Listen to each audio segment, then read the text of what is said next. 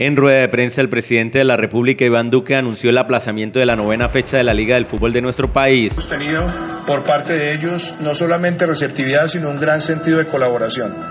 En primer lugar, que han decidido ellos cancelar la fecha prevista para este fin de semana.